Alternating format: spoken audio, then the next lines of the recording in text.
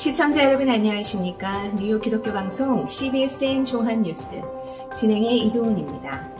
이 프로그램은 뉴욕 한국일보, 뉴욕 중앙일보, 기독뉴스 협찬입니다.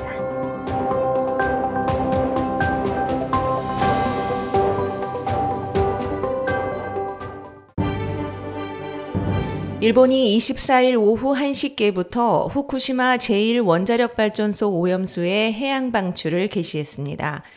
2011년 3월 11일 동일본 대지진 이후 후쿠시마 원전 사고가 발생한 지 약 12년 반 만입니다.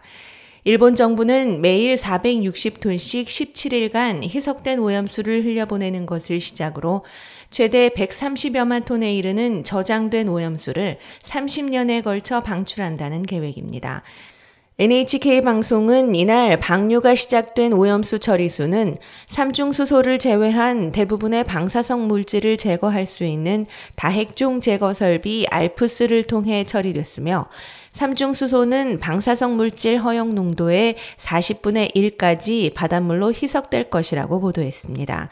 후쿠시마 원전 운영사인 도쿄전력은 방류 개시 직전 희석된 물의 삼중수소 최대 농도가 리터당 43에서 63 베크롤로 측정됐다고 밝혔으며 이는 국가 기준치인 6만 베크럴과 도쿄전력 자체 제한인 1500 베크럴에 훨씬 못 미치는 수치라고 전했습니다. 도쿄전력은 앞으로 매일 해양 방류의 영향을 모니터링하고 기준치를 넘는 농도가 나오면 즉각 중단할 계획입니다. 한편 방류에 반발하는 중국 외교부는 이날 강한 규탄의 뜻을 표한다고 비난하고 일본산 수산물 수입 전면 중단을 선언했습니다. 뉴욕 일원 전현직 한인단체장들의 모임인 한인단체장연합회가 22일 공식 출범했습니다. 한인단체장연합회는 이날 퀸즈 플러싱 소재 산수갑산2 식당 연회장에서 창립총회를 열고 연합회의 공식 출범을 알린 후 초대 회장으로 곽호수 전 뉴욕 한인 수산인 협회장을 만장일치 추대 인준했습니다.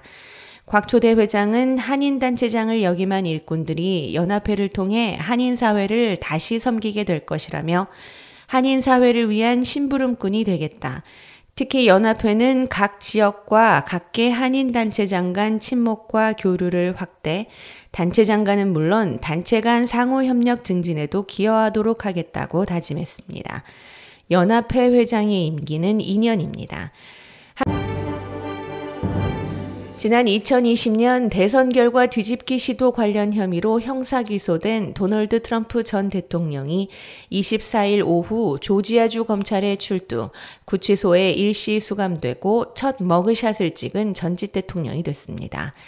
트럼프 전 대통령은 2020년 대선 때 경합 지역이었던 조지아주 선거에서 패배하자 2021년 1월 초 브래드 레펜스버거 조지아주 국무장관에게 전화를 걸어 선거 결과를 뒤집기 위한 11,780표를 찾아내라고 압박한 혐의 등 13개 중범죄 혐의로 지난 14일 조지아주 검찰에 퇴임 후 네 번째로 기소됐습니다.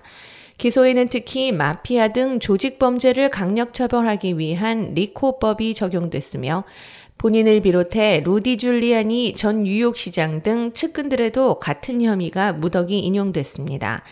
특히 트럼프 전 대통령은 이날 구치소에 일시 수감되는 형식을 밟으면서 다른 용의자들처럼 범인 식별 사진을 뜻하는 이른바 머그샷을 촬영했습니다.